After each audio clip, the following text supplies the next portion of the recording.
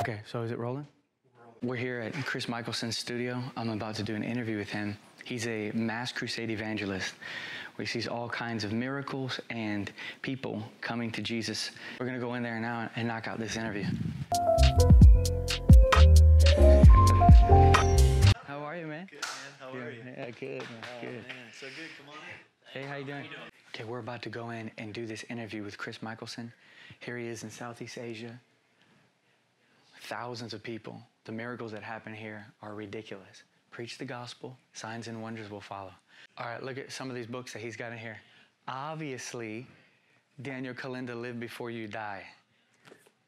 Live Before You Die, Daniel Kolenda. It's a good one. I was looking through the books that he has here, and the one that probably changed my life the most out of everything I can see here is this one. It's called Experiencing the Depths of Jesus Christ by Madame Guyon. This is super rich. One of my favorite quotes of all time comes from this book, and I practice this or use this quote all the time. Whenever the passions of the soul become turbulent, a gentle retreat inwards to the presence of God easily deadens and pacifies them.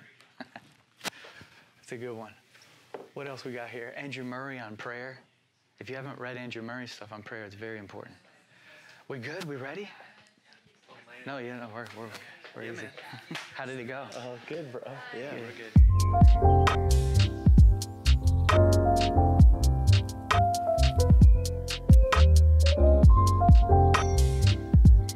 But I want to encourage you from Colossians chapter 3. The scripture says, Obey your master in all things, not with eye service as men pleasers, but in singleness of heart, fearing the Lord. It hit me that this is where the fear of the Lord is seen in our lives when our hearts are single towards Him. When our eyes only look to Him, that's the fear of the Lord in our lives. So as you are at your job, you're at your workplace day in and day out, if you keep your heart set on serving Him, that's walking in the fear of the Lord.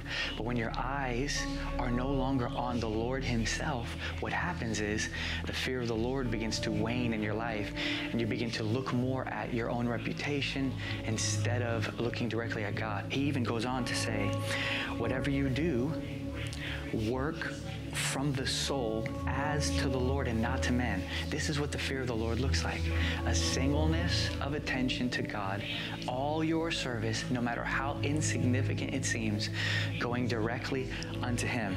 Then it says, knowing that from the Lord you will receive the inheritance as recompense. Recompense is exact payment for services rendered. So this is what it looks like. Day to day, you go to work at things that don't seem significant, but if you keep your eyes fixed upon the presence of the Lord and let everything go up unto Him, serving Him and not those that can see you, then you will receive a reward from heaven.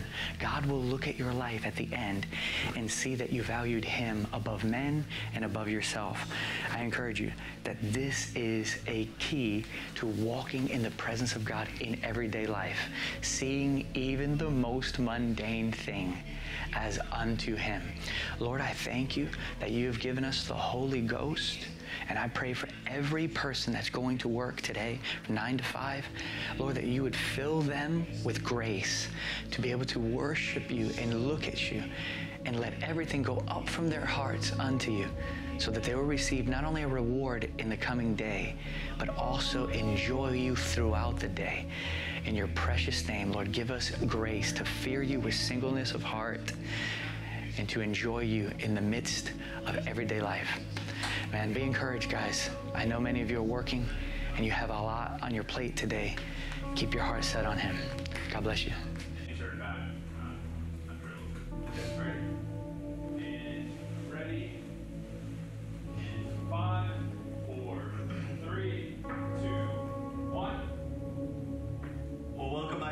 To another episode of Salvation Today. We are so excited you guys are joining us today on the Many of us have only known religion, and it has produced boredom, it has produced bondage. But to know the wine of the Spirit, and to enter into a real intimate place with Jesus will set us free to live a real holy life that is not merely external, but is because of an internal receiving of the person and presence of Jesus. We value his person by prioritizing his presence. This is what we're going to talk about.